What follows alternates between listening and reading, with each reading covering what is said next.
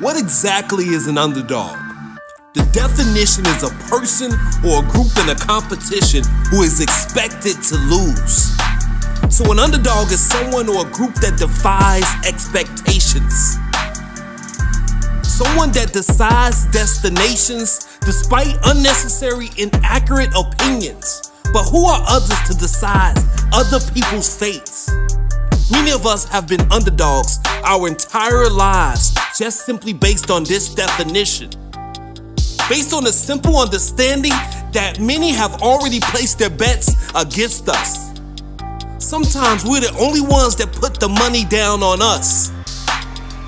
Sometimes we're the only ones that believe in our pre-dream realities. So, let's get it. Let's work hard and show the world what we already know. Just like Buster Douglas did, who, based on the track record of the train that he was set to collide with, expected to go down in round one like a tree chopped by Paul Bunyan. He was expected to lose, but Buster Douglas himself had no such expectation. Sometimes hard work cannot be explained, but it surely can be shown. It surely can be displayed. It surely will show itself when it's showtime. So going into this fight, Buster Douglas defined his own definition of determination.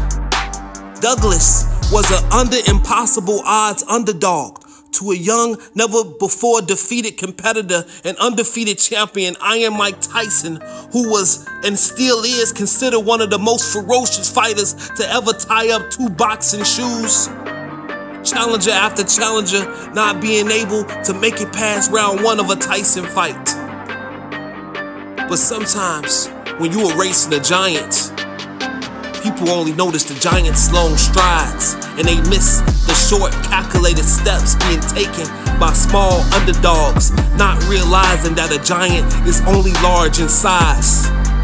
Not realizing that a giant wheel and a massive no quit mentality will defeat any large size monster in the way.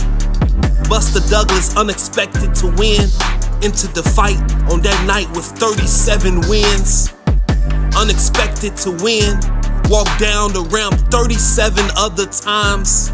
Unexpected to win, this underdog had 37 other opportunities to experience war. Underdog is an opinion. This word underdog is simply gas to fire. 23 days before the dance, Buster Douglas's mother passed away. She left him with the grief that could have stolen the shine from his situation. But instead of pain, discomfort, and paralysis taking over, he used some circumstance to overpower his situation, an opportunity, knocking his opponent out in round 10. This underdog was not under for long. This was no underdog. He was underestimated. Buster had the competitive advantage. Buster had nothing to lose and everything to gain. Buster believed in himself and that was enough.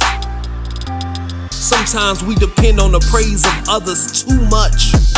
And no one can ever be a better cheerleader for you than you. So when others doubt your capability to be successful and you are putting in the necessary work, use your personal belief and will to win to overpower your opposition. Be like Buster and bust through the barriers that others have placed on you use their doubt as fuel and break through the borders designed to keep you not you. Remember, you have always been an underdog. Be ready to bite and break through, just like us underdogs do.